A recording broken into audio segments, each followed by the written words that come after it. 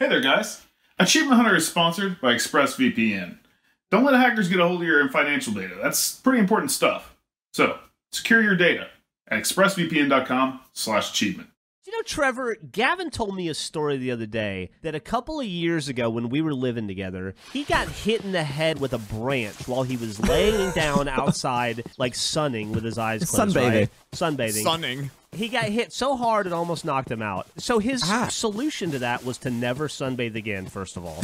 and secondly, just to assume that I chucked from the second floor of a house down at him a giant branch that hit him so hard in the head, he almost threw up and passed out. And he just Here's assumed that I did that. And Did has you, though? for 10 years has thought I did it. Look, I was. I Probably may have been did, though. sunbathing I feel like under a tree, fair. but the branch didn't match the tree. Oh shit! Oh, the plot thickens. Care to explain that, Geoff? I feel like there's a lot of stuff I never brought up because I didn't want the satisfaction of you thinking you'd got to me. Well, I can understand that. Look- Yeah. Look, I- I'll, I'll say it like I said then. Uh, is it possible that I threw it? Absolutely.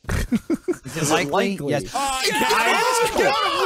No fucking way. You're joking. Geoff, come on now.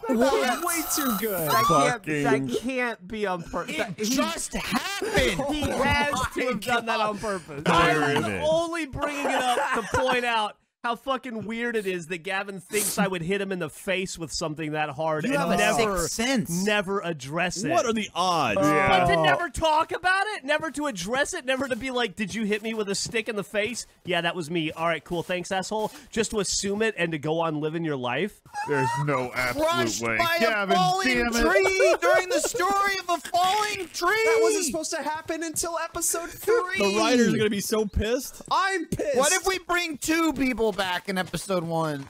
All right, there he is. Gavin, you son of a bitch. Okay, that was too funny, I was Gavin. cutting down trees, and you know how they fall away from you. I told you they don't sometimes. No, They don't it always. Did, it did. It fell away from me, but I guess like the stump flipped up when it landed, and it hit me in the face, and I died. I died. I was like full health.